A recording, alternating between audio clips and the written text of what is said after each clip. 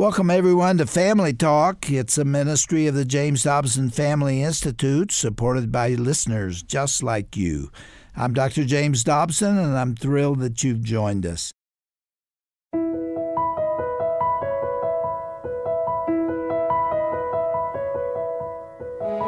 Welcome to Family Talk. I'm Roger Marsh. Today's program touches on a topic that we are passionate about here at the Dobson Family Institute. We are going to be talking about the biblical mandate that men live out the Word in every aspect of their lives and conduct themselves as godly men who are strong leaders. As it says in Proverbs 27 17, as iron sharpens iron, so one person sharpens another. And that is exactly what happens at a Men's Ignite event, which is where today's interview was recorded. Our guest is Christian comedian, public speaker, and ordained pastor Dennis Swanberg. Dennis spoke at the most recent Men's Ignite event in 2022. Now, the Men's Ignite conference is held in Lynchburg, Virginia at Thomas Road Baptist Church. It's hosted by our own Dr. Tim Clinton with the purpose of encouraging men to be strong leaders of their families and to serve and lead in their communities as well. Dr. Dennis Swanberg, otherwise known as The Swan, is a popular comedian, motivational speaker, ordained minister, and author. He had been a pastor for 23 years before he carried his message of faith with comedy across the country. He now speaks to over a quarter million people every year. He has hosted two successful TV series and created dozens of CDs and DVDs throughout his career. Dennis Swanberg earned his Bachelor of Arts degree from Baylor University with a double major in both Greek and religion. He also earned a Master's of Divinity and a Doctor of Ministry at Southwestern Baptist Theological Seminary. Dennis and his wife Lauree have two grown sons, Dusty and Chad, and they make their home in Dallas, Texas. Let's go backstage now with our very own Dr. Tim Clinton and his special guest, Dr. Dennis Swanberg, on today's edition of Family Talk. I'm honored to catch up with the Big Swan, one of the best Christian men and stand up comedians I know. Dennis, thank you for joining us here on Family Talk. Well, thank you, Tim. And I have been looking forward to this. And uh, man, you know I love Ignite. I love this men's event. And I am glad to be back on the road. I mean, I'm so excited. When I'm driving down the road, I almost break into Billy Graham and I'm preaching like Billy Graham and I'm coming into this place and that place. And millennials are looking at me going, Who in the world is this man? I'll tell them, I'm uh, I'm Dennis Swanberg. I'm sorry, but it feels good to be out. Dennis, it oh. does. It feels so good. And you know what? This event has been special. There's oh, something oh, happening. You know, I've always said this. I, I, believe this in my heart that when men get together and they press into the heart of God, I mean, something happens. Yeah. Men, men reach men. And men like to be with men. We want to be with men, but we, we, we work, we get married, we got kids, we got this and that when does a man get to be with some of his other buddies? Well, I'm going to go hunt. Honey, well, how long are y'all going to be gone? I'm going to go fishing. Honey, when are you going to be back? Well, we like to be with our buddies. And this event, I mean, I don't know how many thousands we've got. Why? There's a hunger. Men enjoy being with men. You know, Dennis, something that really stuck out to me or stands out to me is this pretty tough time we've been going through. And in particular, I think for men, they feel pretty isolated. Mm-hmm kind of lost and confused. And the truth is, uh, Swan, I don't know if you see this or not, but there's a real, I think there's a real beat down on men in culture.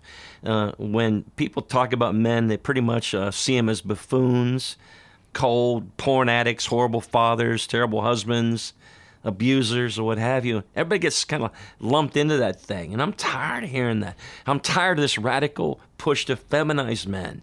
I'm, I'm tired of this run to say masculinity is toxic. Yeah, Swan, be masculinity is not toxic. No, it's it's good to be a man. We we want to encourage our young boys to be men. Uh, rise up and be men of God. Rise up, you old men of God. Nothing wrong with that at all. Matter of fact, when I think about it, some of my heroes that I talk about were are men. You know, could bow up, could bow down, could bend when they need to bend, but they're men. Dennis, I'll tell you this if you look at all the research, it's clear men matter. Yep. And, and people believe probably the greatest social ill of our day is the absence of dads. I'll oh, add this godly fathers yeah. uh, from the home. Exactly. We need it. And I see there's good news in this discussion. I think there's a radical stirring going on among men. I, I do too, and I tell you where I see some of it. You know, people might disagree. I see it in some of uh, uh, many millennials. Deep down, uh, these young men are going. Either do I matter? Is it okay for me to step up? And you know, my youngest son, he's manning up, and you know, he named my grandson after my dad, Floyd. Put Floyd in there, which I couldn't believe he would put Floyd in there as a middle name. I love my daddy, Floyd Leon, but Floyd. I mean, then my wife put her hand on my leg, like, "Don't say anything. You don't want to offend a millennial." you know, and I'm going, I want them to come for Thanksgiving and Christmas. Well, they'll be there because they want our money. But anyhow, uh, but he, why did my son name him Floyd? Floyd was old school, you know, man's man, 36th Infantry Division, blah, blah, blah, because you know what he saw? I want to be, I want to be to my son like my grandpa, who gave me man talks. A man needs I mean, we need to have a confidant. We need to have someone we can share our deepest failures, our deepest joys. I just think we need to do everything we can to encourage men. And so that's what I did with this new book. You're listening to Family Talk, a division of the James Dobson Family Institute. I'm Dr. Tim Clinton, your host. Our special in studio guest here at Ignite Men's Impact Weekend in Lynchburg, Virginia. One of the things you've shared this weekend is a special brand new book called Breakfast, Bible, and Bull 52 weekly devotions for guys. Well, I got this new book that I did called Breakfast Bible and Bull. And I gave a copy to my mama, Pauline Bernadine. I asked her, I said, Mama, what do you think about it? Breakfast Bible and Bull. She looked at it, she said, I don't like that word bull. I said, Mom, Mom is for men. I don't care, you men, y'all talk like that. I said, well, Mama, that's just, you know, it's for men. Well, then about a week later, she calls me, I love that book. I have read it. I love it. I said, Well, have you changed your mind about the title, Breakfast Bible and Bull? I still don't like the word bull. I said, Well, I'm sorry. She said, You're coming in April to speak, and we've got about 150 going to be here. I said, Okay, well, that's good. She said, Please bring the book for the boys. I said, well, Even though it says Breakfast Bible and Bull, yes. Dennis, uh, tell us a little bit about this book because when when men feel safe and they start moving in a direction, they open up, Dennis. And what you're trying to do is take that opportunity to speak life exactly. through short devotionals. Oh yeah, stuff that men stories they can chew on. I mean, it's a uh, every man needs a good breakfast, good Bible study, and shoot the bull with his buddies. we we need that. I want to have time with my buddies. I, I want Bible. I, I, believe there's truth in Bible, but I I want buddies. I want friends. I believe that Jesus had them. If he needed them, we need them. You know, that's why I wrote the book. Men are lonely. They, they have secret fears, regrets, sorrows, all that kind of stuff. And we need to man up, but we need to be encouraged. So that's why I did the book. I found it fascinating in the book. You, um, you, you start taking on some pretty significant topics, subjects. Uh, I want to go to uh, a little piece called Playing Hurt for a moment. Oh. I love that Thoreau quote the mass of men lead lives of quiet desperation. Yep. And in the midst of it, it's like pressing. They got to fight their way through. And they're hurting. Every man that comes walking through there has hurts. We all hurt. You hurt. I have hurts. We all have hurts. Everybody hurts.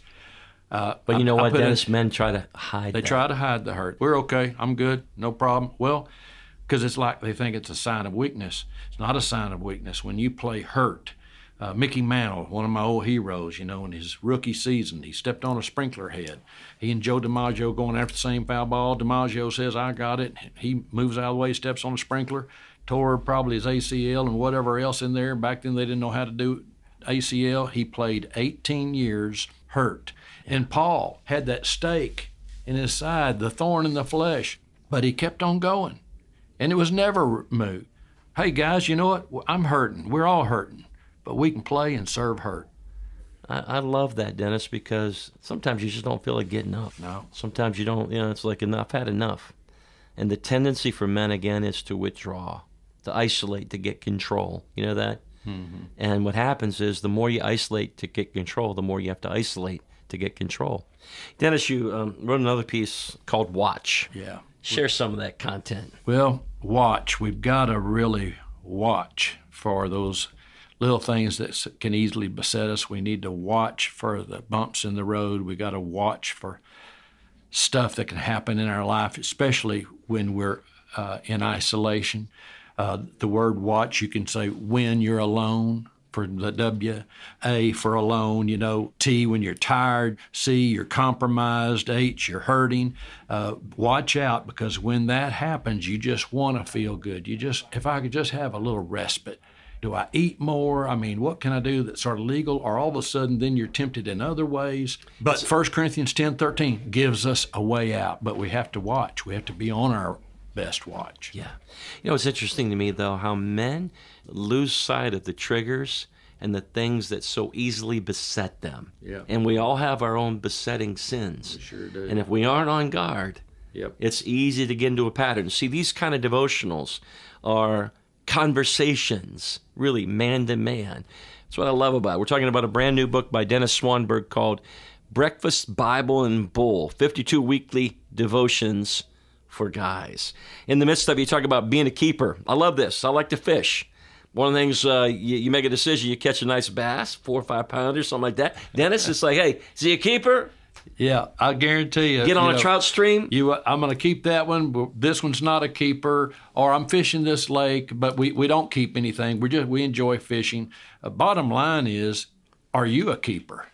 Thanks be to Jesus Christ, uh, we can all be a keeper. Uh, Have you settled it with Jesus Christ? You know, at the final judgment, you want to be a keeper. Nicodemus, old Nick at night, he had to be born again to be a keeper. And that's good news is that we can all be a keeper. And here's a good thing for us, man, uh, in the book is the one you're going to marry. Is she a keeper? Uh, Are your kids keepers? Are your parents keepers? Your, your brother-in-law, your your friends, are they keepers? You want to keep them. You want to hold on to them.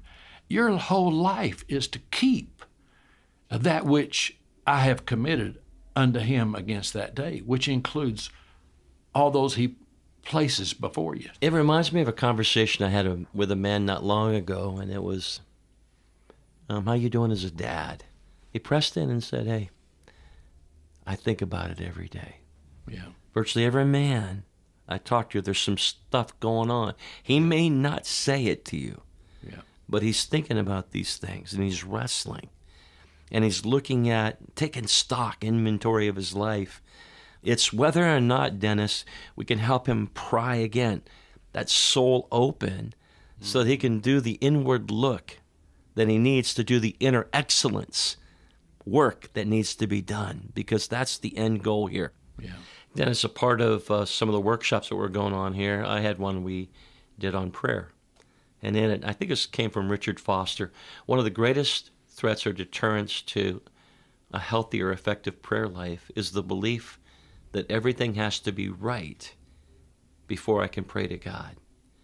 You talk about a deterrent, man, especially for a man who's looking inside. I go mm-hmm. back to that statement. Virtually every man I've ever met doesn't believe that God loves him. If he believes that, that what he's saying is, I've got stuff in my life, my history. There's no way God could love me. Yet Christ didn't come to save the righteous No. came to save sinners, men who would, by the way, be transparent enough to say, Woe is me. I'm a man of unclean lips, like Isaiah did in Isaiah 6. And when that happens, uh, part of the journey here is dealing with sin and brokenness in my life. As you did a piece on sin, your sin's bigger than mine. Great chapter. You're trying to engage men and invite them into that kind of a conversation. Exactly. You know, when I went off to Baylor University when I was leaving, I was a brand new Christian. My mother, Pauline Bernadine, she said, Promise me you won't do the big sins. And I said, Mama, sin is sin. I knew that much as a new believer. She said, I know, but don't do the big ones. I said, Well, what are the big ones? She said, You know what the big ones are. Well, we categorize our sins and all because some have greater consequences. Uh, then all of a sudden, I start living a life where, you know, as long as your sin is bigger than mine, I'm fine. Matter of fact, the bigger your sin, the better I feel about myself. You know, to borrow from my title of my book, that, well, that's a bunch of bull. Uh, the reality is, we're all sinners. We, we've all missed the mark. An inch or a mile, you missed it. We, we, we've all come short of the glory of God. But we need to seek God's forgiveness and repent and find His grace and mercy. And uh, like the old song, what can take away my sin? Nothing but the blood of Jesus. Man, when He deals with my sin, uh, I'm able to deal with it and move on. I'm able to not let it be that habitual, just a denominator of my life. I can have that broken in the power of the Holy Spirit. And I can develop spiritual muscles. Yeah. And if I want to get rid of that stronghold, I've got to confess it, I've got to turn from it, and I've got to lean forward or lean into, let the Holy Spirit take over within me to say no to that and move on. It is possible, it can happen. Dennis, I, I want to say this. You cannot not have influence. You have to dial that thing in. Yeah. And what that means is own your influence.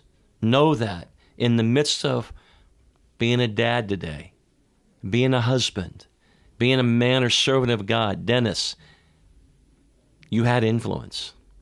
You said something to your kids today, whether you spoke it or not. You said something to Lauree mm-hmm. That's right. today, whether you said something or not. Mm-hmm. You said something uh, about your walk with Christ today, whether you said something or not. Dennis, how or what do we need to do to encourage men to step up into this moment? Well, men, you're not alone. You know, the Lord is with you, and you need to find some like minded men. The church is God's dynamic for you. And I know that may come across a little scary to some men, uh, but listen to me. Find a men's group, a brother for adversity, someone who can keep their dadgum mouth shut, Yeah. someone who can be confidential, someone who'll come alongside of you and, and hang in there with you.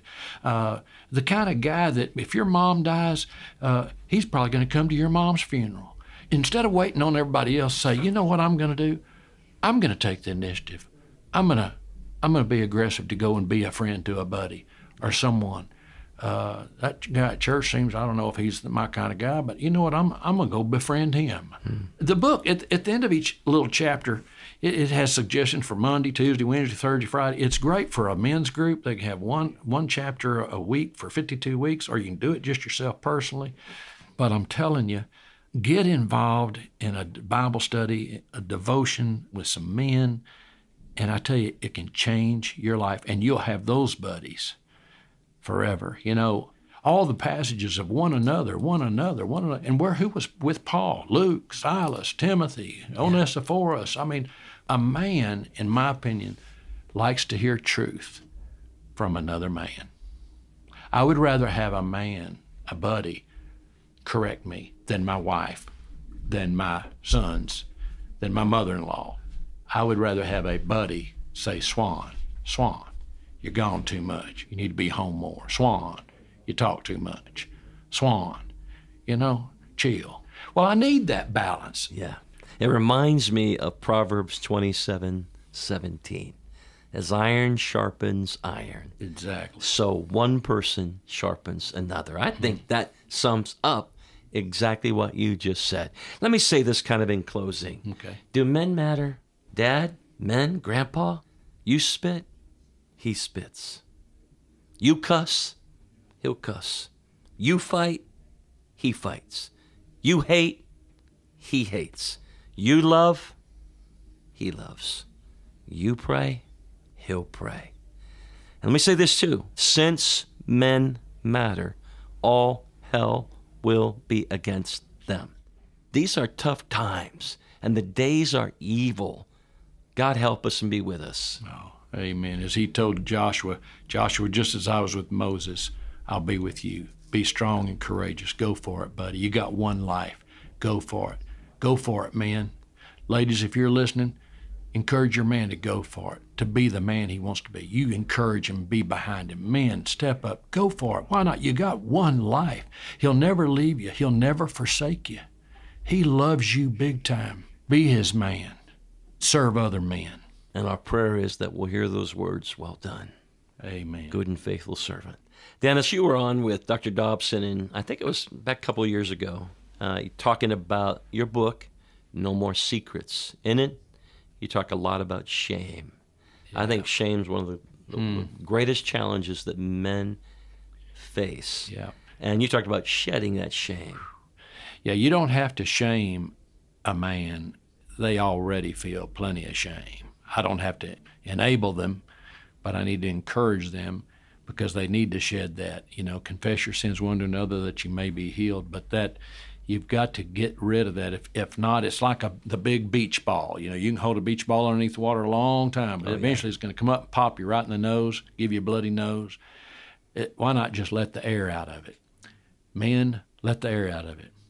Uh, forgive, uh, confess, uh, turn away from, uh, embrace uh, the love uh, of God Himself. But you've got to get rid of it. If you don't get rid of it, it's going to make you sick.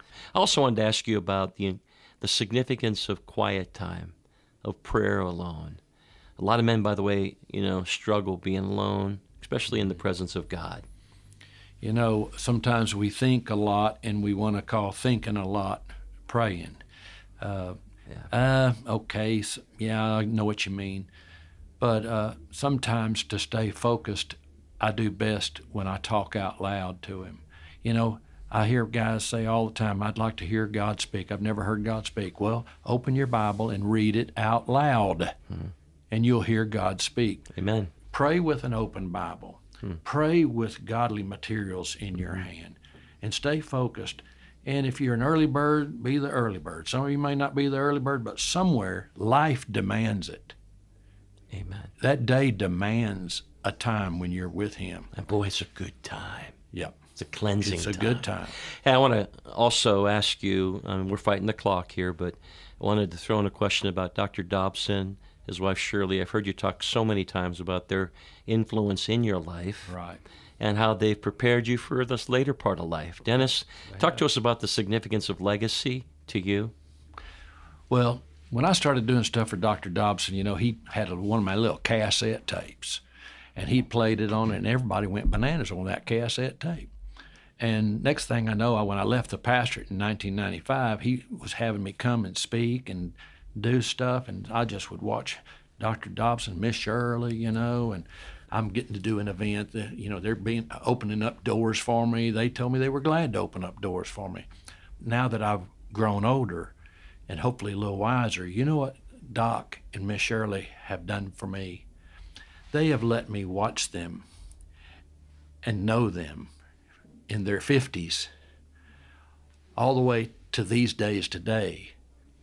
And that whole composite has enabled me now to know how to finish. Uh, I'm in my 60s. But I know if- the Lord gives me 25 more years, I have a pattern that's in front of me. I have Jim and Shirley Dobson, and they're showing me now, the old swan, and my little sweet Lauree, my honey love, how to finish and to finish well. And they're pressing towards the mark. And that means everything to me. One of my favorite pieces from Dr. Dobson is In the end, all that will really matter who you loved, who loved you, and who you take to heaven with you. Exactly. The rest of it fades. Life will trash your trophies. Yeah. Dennis, this is all about pressing in vertically between us and God and then those that we hold close. Exactly. Dennis, before we go, wanted to ask you if people uh, want to know how to get this book, they, they want to know your schedule, where you, where you showing up, love to have you speak. How do they find it? Hey, DennisSwanberg.com. Just Swanberg's a mouthful, S W A N B E R G. I think you can spell Dennis because Dennis spelled backwards is send, uh, past tense. But uh, DennisSwanberg.com. And we have all the stuff there. We'd, I'd love to come and serve you, your church. You know, I love my senior adults, my singles. I love the men's ministry, marriage. I mean, and I love these millennials, and I love your kids. Love to serve and encourage you. So give us a holler. Dennis, on behalf of Dr. Dobson, his wife Shirley, Oh, I love those the- two. yeah, the entire team at Family Talk, uh, we we love you, we pray for you, and especially that God would raise you up again as a voice for men, deep encouragement for men for such a time as this. Congrats again on your new book, Breakfast Bible and Bull. Might get us in trouble, Dennis. I don't know. God bless you. Thank you for joining us. Thank you.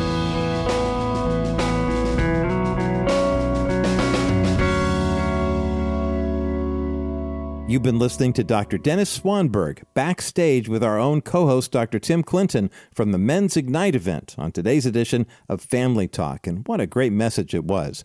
Men should help support other men on the journey to follow God and to become strong leaders, and then stay there. Uh, did you know that this Friday is the March for Life event in Washington, D.C.? Now, the next few days here on the program, we'll be discussing several topics highlighting the sanctity of human life. You can find previously aired broadcasts that cover many pro life issues on our website, drjamesdobson.org. And while you're online, why not consider making a donation or sending a prayer request our way? You can even order the 2022 Best of Broadcast collection for a suggested donation of $50. It's a great biblical resource for any family. Now, you can order the 2022 Best of Broadcast collection over the phone as well. Call 877 732 6825. That's 877 732 6825. Thanks so much for joining us today. I'm Roger Marsh, and from all of us here at the Dr. James Dobson Family Institute, have a blessed and wonderful day.